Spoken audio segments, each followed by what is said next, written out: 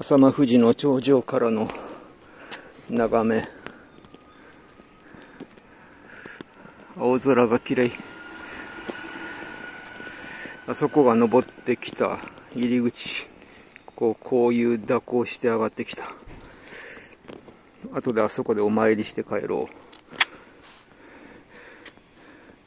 こちら山の裏裏側。